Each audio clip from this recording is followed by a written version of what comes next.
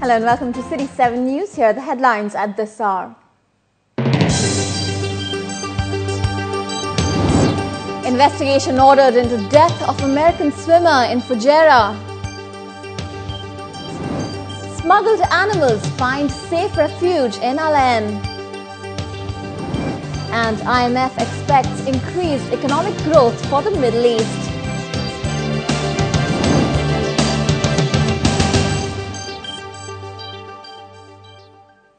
The world governing body for swimming, FINA, has ordered an investigation into the death of American swimmer Francis Crippen during the final round of the 2010 FINA 10 kilometer marathon swimming World Cup in Fujairah on Saturday.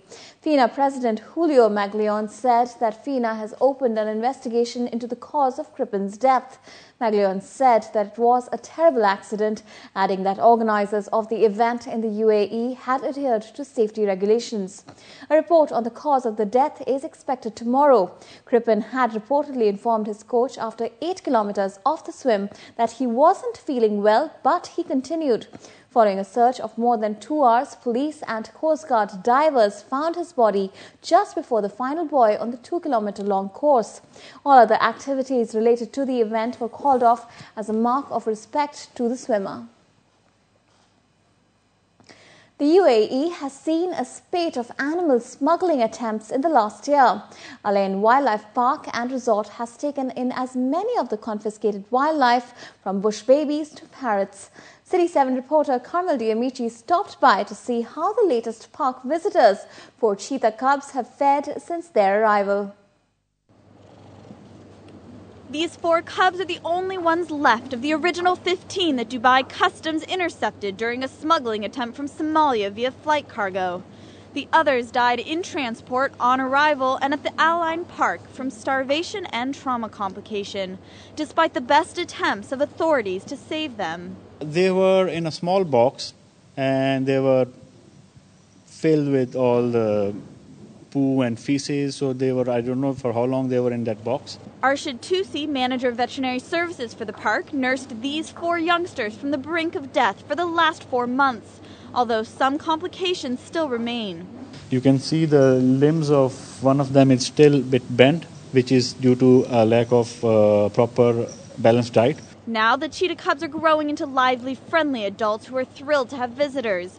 They will most likely go on to a well equipped breeding center with open roaming ground once they are old enough. A far cry from the life they would have led in a private residence home. A human being has uh, affinity toward wildlife. And sometimes that feeling manifests itself of uh, uh, an individual wanting to have its own wildlife. Wildlife requires a level of care far beyond that of domestic livestock or household pets. Still, that doesn't stop the underground smuggling trade from profiting at the expense of these animals, who often die due to the ignorance of ill equipped owners. Manager Farshid Madarfar told us that the park works closely with authorities to rehabilitate the cases. We don't want to see anybody be in any kind of a safety hazard or dangerous situation where their interaction with the wildlife could become a danger to themselves. These cheetahs were the lucky ones. They will go on to live long, prosperous lives under veterinary surveillance. Carmel Diamici, City 7 News.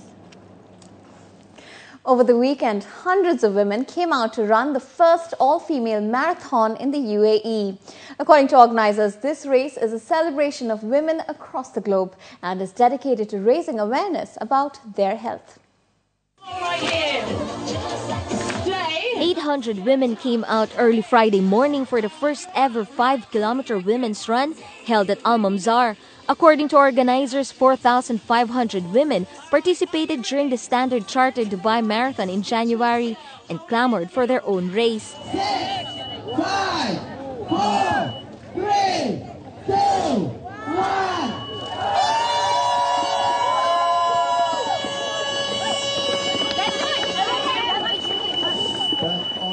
First thing, this is for the fitness and for the health and also for the beauty and you know the woman how they look it. And in the end of the day also there is a prize money for 10 the winner. There is 10,000 dirhams and then 5, 4, 3, 2, 1, then 500 for 10 position. And then gold medal, silver and bronze medal also. and trophies. It was a fun run that celebrated femininity and promoted well being.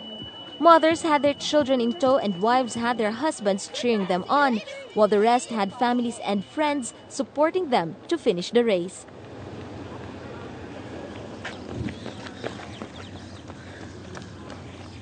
It was great. It was very tiring. I'm not as fit as the rest, but we are from Argentina. This encourages you to do more exercise, to, to have a, a, a healthy style of life. It yes, was a challenge, and it was yes, good. a challenge for It us. was good for all of us. It's a nice thing to do an all-female race. Your 5K And, women's uh, run Yeah, it was 2010 enjoyable. It was good for to have something to train for. I just stay fit so I can keep up with the children at school. At the end of the race, Bethlehem Balaine from the UAE team bagged the first place by finishing at 16 minutes and 45 seconds. She took home 10,000 dirhams in addition to other gifts.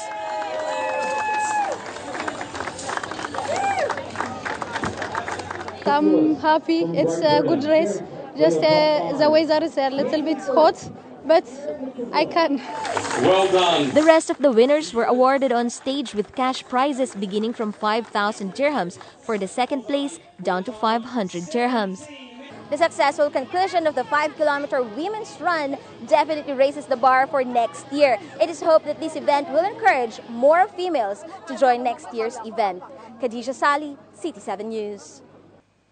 Coming up later in the show, jewelry and art valued at 30 million US dollars to be auctioned in Dubai.